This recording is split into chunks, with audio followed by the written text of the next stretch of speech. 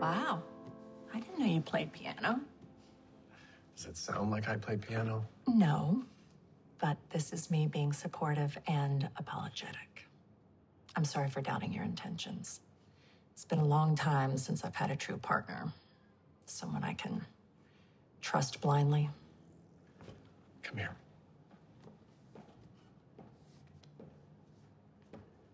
I don't care about my hedge fund, Alexis. I care about you. You're the most important thing in my life. You're the most important thing in mine.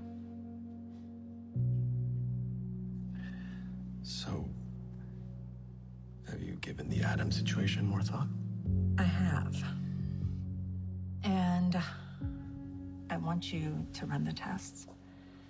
I'm sure it's nothing, but you're right. I need to protect myself. I'll call the tech. We'll make it quick. Because I skipped Alan's bachelor auction to spend time with you. And now you're gonna need to make it worth my while. I appreciate the sacrifice, Mrs. Dexter. Mm-hmm.